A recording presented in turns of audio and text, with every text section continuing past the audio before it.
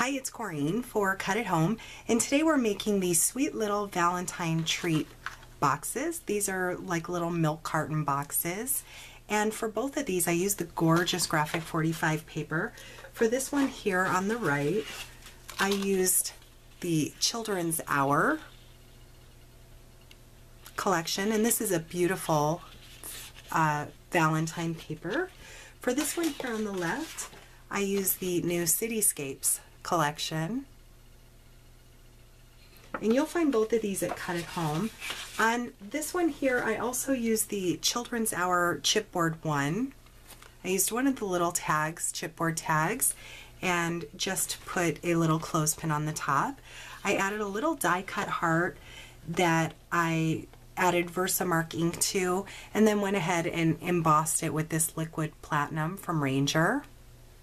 And this, in my opinion, is just a little bit more masculine, a little less frilly. And then this one here, um, it, as you can see, it has a scallop top, a die cut window. For the inside window, I use the clear cardstock. This is by Heartfelt Creations, and it comes in both 8.5 and by 11 and also 12 by 12. Again, you'll find that at Cut at Home as well. And I added the scallop outside to it just to give it a frame. I added three of the frames.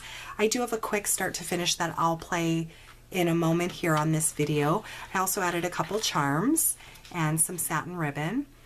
And again, this is a silhouette cut, but I went ahead and figured out the measurements. That way, if you don't own a silhouette cut, you can make one by hand if you'd like, like I did here. And also for this on the top, you can die cut a border punch with this. I wanted to leave it straight across, but you can also add a dot border punch. So let me just go over the measurements here, what we'll be doing. Here it is broken down for you. I will have this also listed on Cut At Home's blog, and I will break down the measurements so it's very easy for you to follow if you'd like. But basically, we're going to make one of these by hand today. You need a 10 and a half by 7 and 3 quarter inch paper, and you want to score it on the 10 and a half inch side at two and a half, five inches, seven and a half, and 10 inches. Then we're going to turn it 90 degrees, score it at two and three eighths and six inches. Okay, then we're going to be cutting off these two tabs here because we will not need this. This will leave us with a tab in the middle and that's what's going to adhere our book together, or excuse me, our box together. And on the second and fourth panel, we want to cut off a half inch on the top and a half inch off the bottom. Then we're going to miter out the corners where the intersect intersections meet on both the top and the bottom. Once we do that, this is what, what it will look like. Okay, and this will be our box. So let's go ahead and make one quickly. Here I have a 10 and a half by 7 and 3 quarter inch paper. I'm using cardstock. I'm going to score it. So on the 10 and a half inch side, we're scoring it at two and a half. And I'm using, this is 110 pound cardstock, so it's very thick. So I'm going over it a few times. So again, two and a half, five inches, seven and a half inches, and 10 inches. We're turning it 90 degrees and on the 7 and 3 quarter inch side we want to score it at 2 and 3 eighths inch and at 6.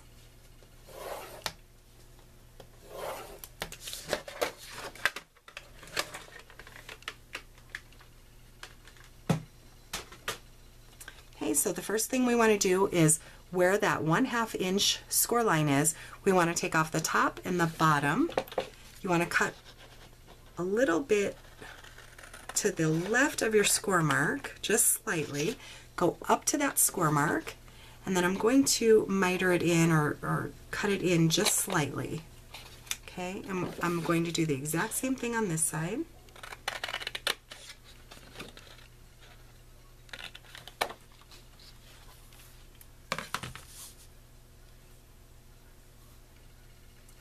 There is what we cut off. Okay, so now On all of our score marks, we want to cut, this is on the 10 and a half inch side, we want to cut up to that score line and not go over. And we want to cut out a slight triangle there. This will help when we fold our box. Again, I'm going up to the score mark, not over it.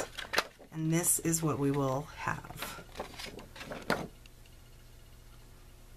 We're going to do that on both sides.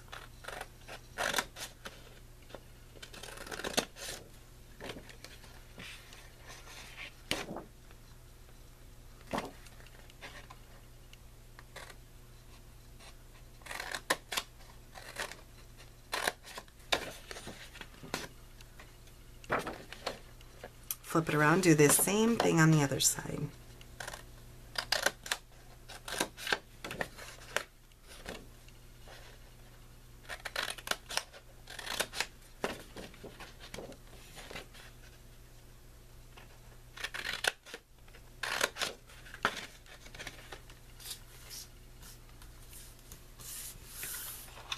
Here's what it ends up looking like.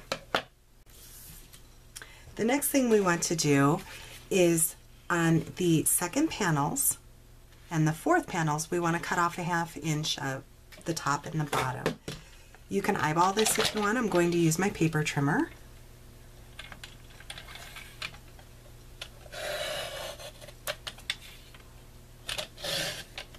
And you want to do the exact thing on the side, then flip it all the way around and do the same panels. So if you cut this panel, you want to cut this one. Same with the top and the bottom.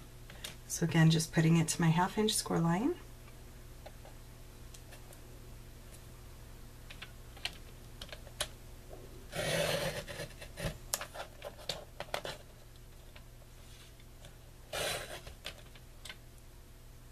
And cutting those off.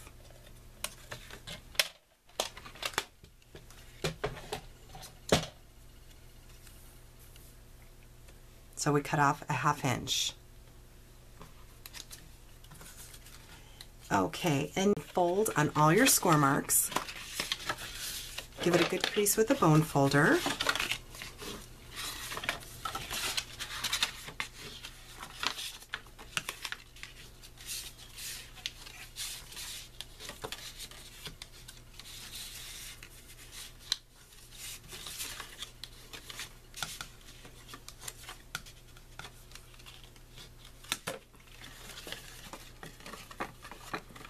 Okay, and if you fold your box together, you'll see how it's coming together now. This little tab will glue to the inside of your box and hold it together. If you want to add a die cut window, go ahead and fold your box, decide where your window is going to be. You're going to want it the opposite of the back side. So go ahead and just mark it with a, a little pencil and run it through your die cutting machine, however you want to cut it out. Or you could just add, you don't have to add a window I did add a window to this one, and like I said, I used the clear cardstock for that. That is not necessary, you don't have to do that. Also, as you know, you have two longer tabs and two shorter tabs. If you want to go ahead and add a decorative border punch to these top two, you would want to go ahead and do that now. So I'm going to add my double-sided adhesive. You want to use a strong adhesive. I'm using Angel Craft tape in the one quarter inch. Go ahead and add your adhesive to your tab.